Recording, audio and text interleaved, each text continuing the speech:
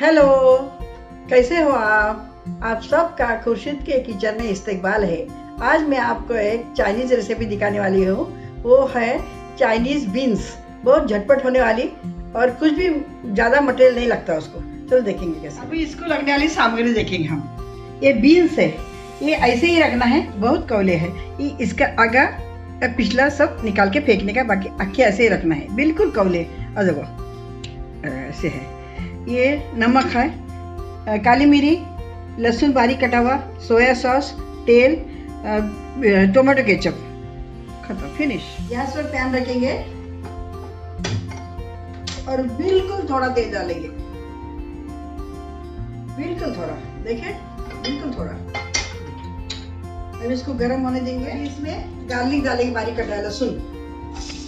देखिए एक गड्ढा लहसुन है। इसमें लहसुन की ही टेस्ट है, गार्लिक की टेस्ट है। और ये, इसको मसाले कुछ भी नहीं लगते। ये फली डाइट के लिए अच्छी है प्रोटीन बहुत है, और वेट लॉस के लिए भी अच्छा है। ये नाश्ते में खा सकते हैं स्टार्टर के खा सकते हैं, खाने के साथ खा सकते हैं। मेरे पोती और मुझे बहुत अच्छा लगता है ये। अभी ये पूरे बीज डालेंगे।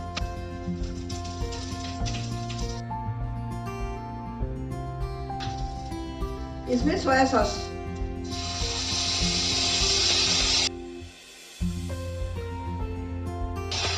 इसमें नमक में डालूँगी ही नहीं? क्योंकि तो सोया सॉस में नमक होता है। ब्लैक पेपर डालेंगे, काली मिर्च डालेंगे इसके अंदर, एक चम्मच।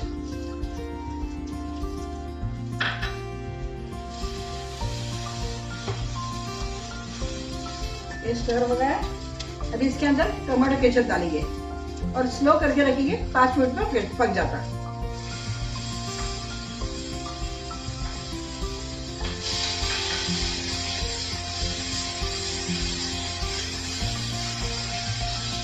रख देंगे।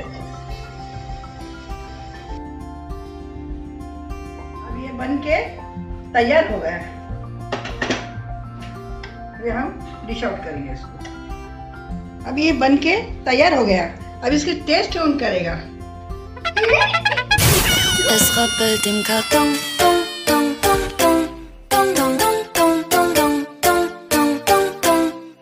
Es rappelt.